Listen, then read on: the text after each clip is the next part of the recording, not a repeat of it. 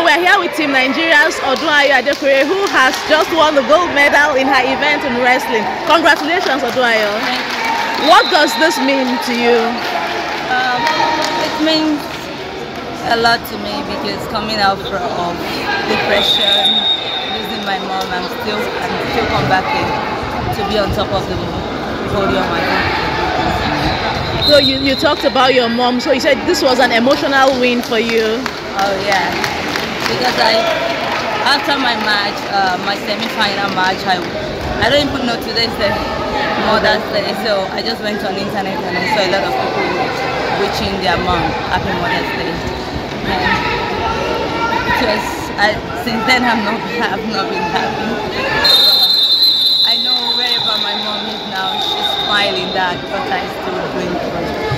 And Mama, I love you. I love you. So Odunayo, over the years, wrestling has been one of the events that Nigerians really look up to, you know, to win medals. And here we can see that what is wrestling doing maybe differently from some of the other sports in Nigeria. I think we have a good leader.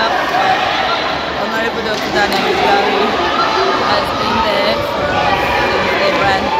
I think I made all my success uh, under him. So he has been a good leader.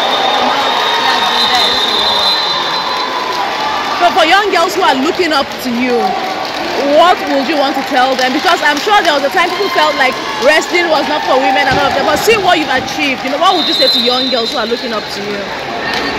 I just have to tell them, chase your dream.